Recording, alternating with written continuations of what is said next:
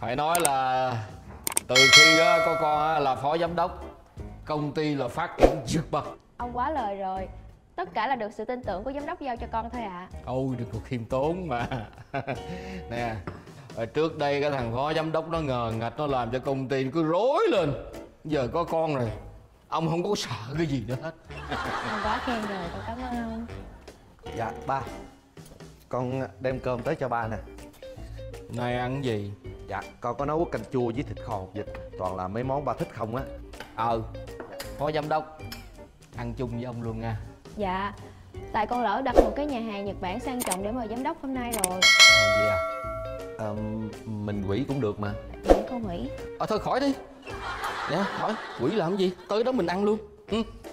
ờ, Dạ. Ba ơi nhưng mà công sức con nấu từ sáng giờ ba ráng ăn miếng cho con vui. Thôi đem